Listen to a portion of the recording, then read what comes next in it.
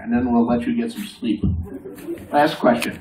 Thank you for waking up at 5 in the morning for us, by the way. And I was wondering if you've adopted any of Brienne's qualities as your own, or were you already a badass?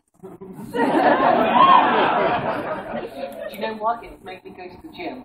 It absolutely made me go to the gym, and uh, I have been doing some some boxing, which uh, I'm endeavouring to to to get to a stage where the the blokes in the boxing gym, um, it's quite a hardcore boxing gym, don't um, laugh at me anymore.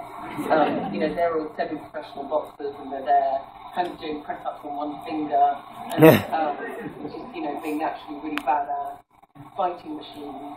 Um, Hey, I saw the picture of you and Mike Tyson. I think you get taken. he, that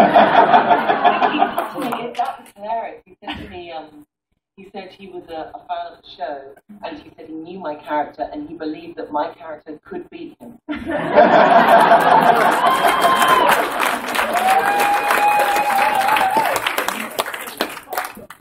Well, thank you very much, Gwen. It's, it's, it's uh, so great that you were able to join us here, uh, especially at this hour of the morning. So uh, we'll let you we'll let you go now and get to some sleep. But I hope to see you uh, in New York in a little while. Yeah, amazing. Yeah, Okay. very exciting.